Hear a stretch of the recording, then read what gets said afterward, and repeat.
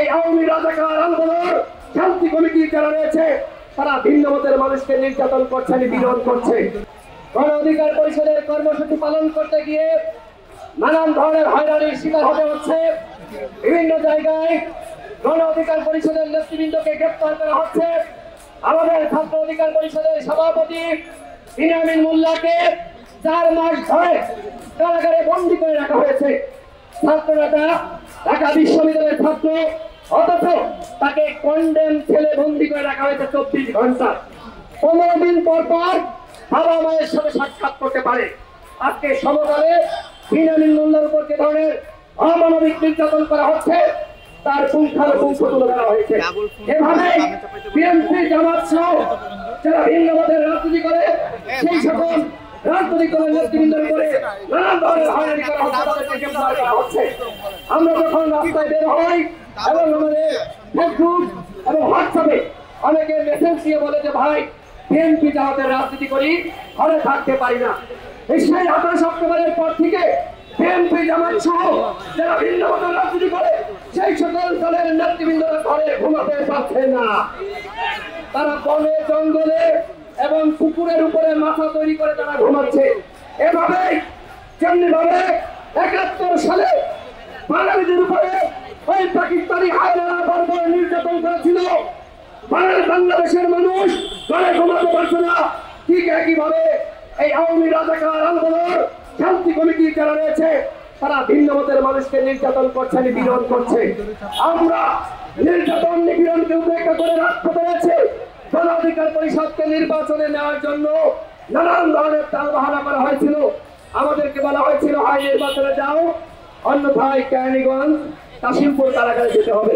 আমরা স্পষ্ট ভাষায় বলে দিয়েছি। গণ অধিকার পরিষদ কারোর কাছে মাথা নত করে রাজনীতি করে না। প্রয়োজনে চলে যাব। তবুও এই আওয়ামী ফাঁসিবাদের অধীনে, এই আওয়ামী ফাঁসিবাদের অধীনে আমরা নির্বাচনে যাব না। সংগ্রামী সাথী বন্ধুগণ, সারা দেশে আওয়ামী টুর্নামেন্ট চলছে। এই টুর্নামেন্টে কোনো বিরোধী পক্ষ নাই। আমরা মামুরা মিলে তারা ভাগ বাটোয়ারা করছে। জাতীয় পার্টি এতদিন বলেছিল, নির্বাচনের পরিবেশ নাই। অথচ যখন আসন ভাগাভাগি হয়ে গেছে, ওই জাতীয় পার্টি আওয়ামী লীগের দলাল, সরকারের দলাল, সিএম দলের নেতৃত্বে তারা এখন এই ভাগ বাটোয়ারার নির্বাচনে যাচ্ছে। এবং একই সাথে দেখেছেন, বিভিন্ন জায়গায় আওয়ামী লীগের যাদেরকে নমিনেশন দেওয়া হয়েছে তাদের নমিনেশন বাতিল হয়ে যাচ্ছে। গোয়েন্দা সংস্থার প্রেসক্রিপশনে যারা ভিন্ন হয়ে এতদিন রাজনীতি করেছে যারা এই দলীয় সরকার অধীনে নির্বাচনে গিয়েছে, তাদের নমিনেশন বহাল হয়ে যাচ্ছে। এভাবেই বাংলাদেশে একটি প্রকৃতবাদী ব্যবস্থা কায়েম করার জন্য আওয়ামী লীগ কাজ করছে। আমরা বলতে চাই, বাংলাদেশকে ওই ভারতের সামনে নষ্ট আমরা হাতে দিল না। আওয়ামী লীগ সরকার দিল্লির গোলামি করে, চট্টগ্রাম নগরবাসী নির্বাচন করে আবার ক্ষমতায় আসতে চাই।